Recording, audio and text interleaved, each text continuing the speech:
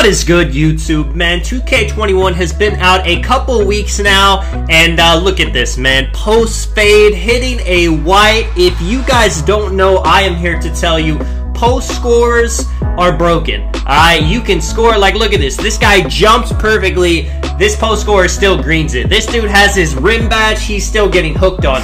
Also, shout out to my man Beast. Best post scorer in NBA 2K21. These clips and stuff, this is his account, this is his post score. I'm gonna leave his channel link in the description, and he's gonna be the top comment on this video. If you guys have any post scoring questions, if you wanna see somebody streaming the 1v1 core, you know, somebody post hooking, somebody post fading, definitely go drop them a subscribe, and uh, let's get into it, man. So, if you guys have never been a post scorer before, this is the year to make it. And the one thing you need to do, the secret to make you unbeatable as a post scorer in NBA 2K21 is to use the shot stick aiming. Now, you guys know Mike Wang said if you can time your shot with the shot stick, you're going to be unstoppable this year. You're going to get a huge shooting boost. And that works for things like shot creators, sharpshooters, but the main position it is helping is post scores.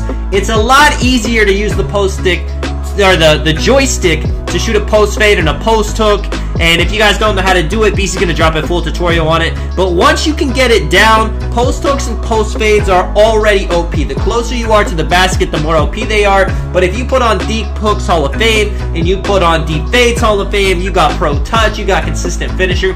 All these badges make it to where you can shoot hooks, you can shoot fades. Like, look at this. He is shooting from the top of the free throw line hitting a green. Defenders, I mean, you know, you can try to stop this, but you can't let him get to the paint. He is a post scorer, and if he hits you with a hook, it's automatically going to give him some space, and it's just completely unguardable. Watch this. Peek, you know, he's got body contact. Beast hits him with a spin. He's staying enough away from him that he can get a fade off anytime. He is shooting from almost the free throw line, and he hits free throw line and threes it's crazy. I mean, the amount of stuff he does is just ridiculous. And I got three gameplays to really show you, you know, him just going off. He's in the 1v1 stage court. And as you can see, his build is an interior force. If you want the build, definitely go check it out on his channel. But he's going up against a guard. I'm telling you right now, if you're a guard, you better be you better you better be on your stuff offensively. Because if you give a post score the ball two, three, four times, even once, and you're done for. Look at that. He shot a very early because timing does not matter, but he got it in the center, so it's still green. If you use the shot stick, you don't have to worry about aiming anymore. You can just get it in the in the little yellow line you saw right there. He shot a white. The worst thing about this is Beast shoots a lot of greens with this, but I was trying to get gameplays where he doesn't even hit all the greens. I tried to get it to where he was hitting whites because a lot of post scores, you know, they won't even time it that good.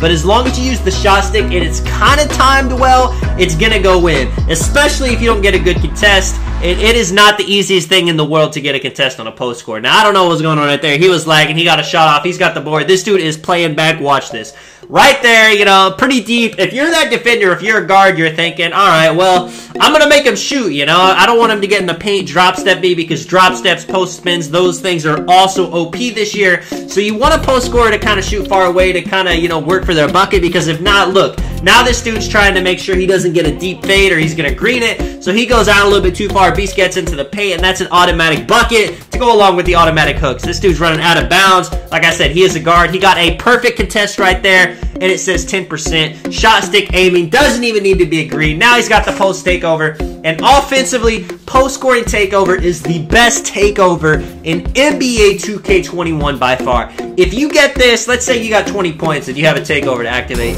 you would want to have the post scoring takeover because it is for sure a bucket. It's going to help you drop step somebody, it's going to help you post hook, post fade. It gives you the ability to just knock people out of the way. And, uh, you know, a nice thing about it, too, is you get, and he misses that. Out of all shots he misses, he misses that. That just tells you, you know, 2K21, it's not the most, uh, you know, competitive game in the world, but hey, man, it is, it's fun. And we got two months until the uh, new gen, so hey, it is whatever. But you see, he's still hooking on people. Post scoring takeover, though, does give you a plus tit on interior defense as well, if you guys didn't know. I know a lot of people be forgetting about that. So not only are you going to dominate offensively with this, but you can start going crazily defensively with it as well. You see, it's 18 to 0. I mean, this is a point guard. Do you expect this to happen. I'm going to have a couple more gameplays, one against a rim protector and one against another post scorer, so you can just see how absolutely ridiculous shot stick aiming is, post scoring takeover is, post scores in general. I'm telling you guys right now. Get in the my court if you're a post scorer. Learn how to use that shot stick because look at this. This man is on an 18 game win streak in the stage. And if you guys know, going on streaks in the stage isn't the easiest thing because usually you're going to be playing better comp. Now, I'm not to lie, there's still, you know, pretty bad players in the stage. But 18 games, there's no way he hasn't gone up against some, you know, very toxic post scorers like himself, as you can see here. This dude's name is Vernal Interior Force. Now, the one thing about Beast Build is he made it shorter than the average post score. A lot of these post scores he's going to be going up against are 7-3. He actually made his dude 7 foot just to be more mobile, just to kind of fit in if he plays like 2s, 3s, Rex. But it kind of works out for him anyway because sure, you know, 7'3", Seven seven threes probably plays better interior defense, but he's a bit more mobile and he can still get the hooks off. You see, this dude is ginormous. You're wondering how is he going to possibly score on a big post score like this? And boom, he goes up with something crazy. He tried to hook it, it gave him a bad layup. But hey, man, the offensive players get the rebounds this year. I know you guys have been playing you're in the paint against contestant center. He gets his own rebound four or five times. Right there. Boom. It looks like you got a pretty decent contest. 14%. That's not the worst contest in the world, but hey, man, it's green. Like I said, hot zone hunter, pro touch, consistent, deep hooks. All these badges are hoping with are helping with post fades and post hooks. He hits a little post hop shot right there.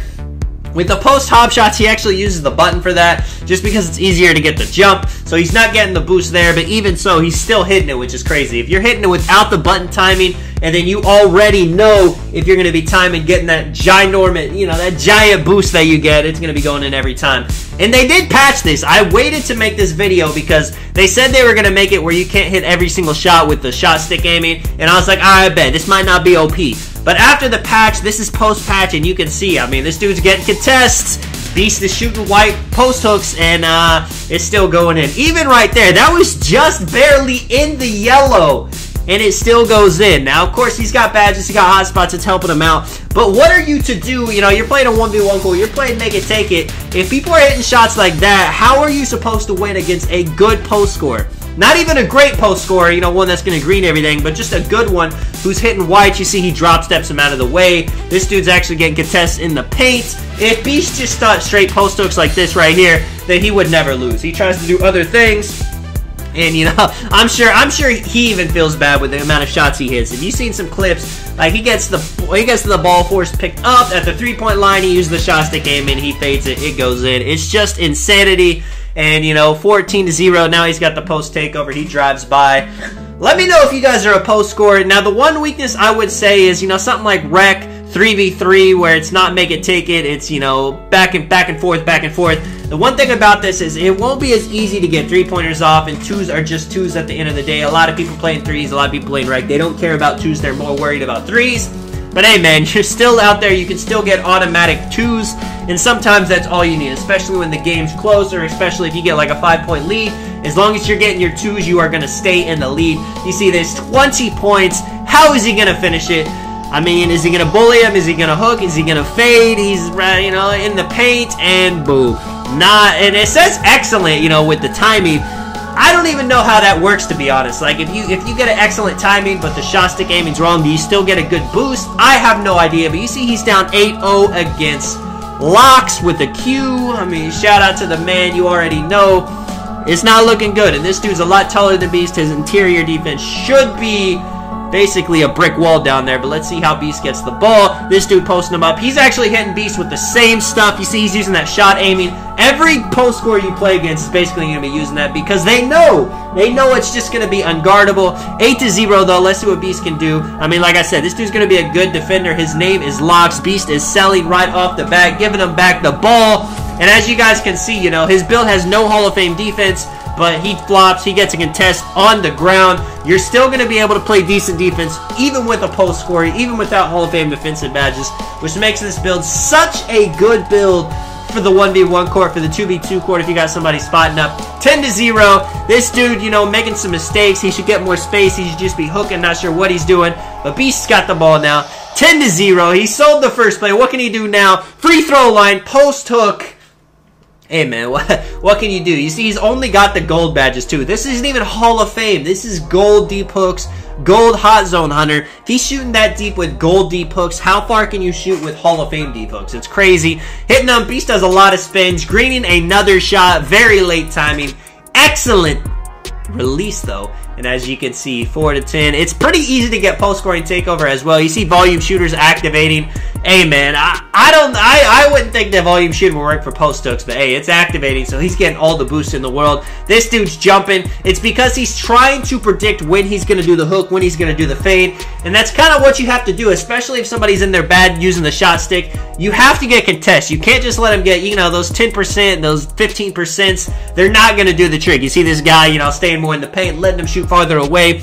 A 15%, a 10% is not enough. You have to get so good at timing the jump, and even if you get a great contest, there's still a good chance it's dropping. So, hey, man, if you can help it, try to stay away from these post scores. Unless you have a post score, you see that it looked like it was going to bounce off the top of the rim, but the shot stick aiming gave him the boost. I played the 1v1 court with my uh, mid range playmaker, my pure playmaker build. And you know, I was on it, but I missed one shot. I gave a post score the ball, and this dude made me pay. You see, Beast doing it again, getting the super close range. If you never ever want to miss a hook with this strategy, just get as close as possible. I mean, if you're shooting from the top of the free throw line, you might miss, you know, one out of every 10. But if you're that close, it's unstoppable. And once you get post takeover, you really want to win. Just do post hooks, man. Just do post fades. Aim that shot stick. Don't worry about if they contest because with that post takeover, that contest is going to mean nothing. Beast hitting them with the hop shot right there. Doesn't use the stick, uses the button. You see, he's almost more used to using the shot stick than he is the button. Times that so bad, and he misses it with post takeover, and that's how it should be. You know, if they don't time the shot right, they should miss, and that'll work with. That's the that's the difference between the button and the stick. And you see right here, gets a really good contest. Very lucky that missed because that definitely could have went in. Intimidator was big right there, but you know, it's not it's not the hardest thing in the world to, to time the shot stick. Not even time it, aim with the shot stick. It's pretty easy once you get used to it. You know, Mike Wang said skill gap, skill gap, skill gap, but it's not really a skill gap. It's more of a, uh, it's more of like a build gap, you know, because it works best with post hooks, with post fades. And I mean, if you played a shot creator using it on fades, those are super tough too. But with a post score, it's just that much more. You see 18 to 0. Two buckets is all he needs. This dude is jumping. Like I said, what else is he supposed to do? He cannot allow Beast to get a post hook or a post fade off without getting a great contest. So he's got to chance. He's got to risk it. And you see here, 10 to 20, Beast spinning three, four, five times with the hook. Bang. Get him out here. Let me know if you guys enjoyed the video. This is Tony. I'll catch you guys in the next one. I'm out. Peace.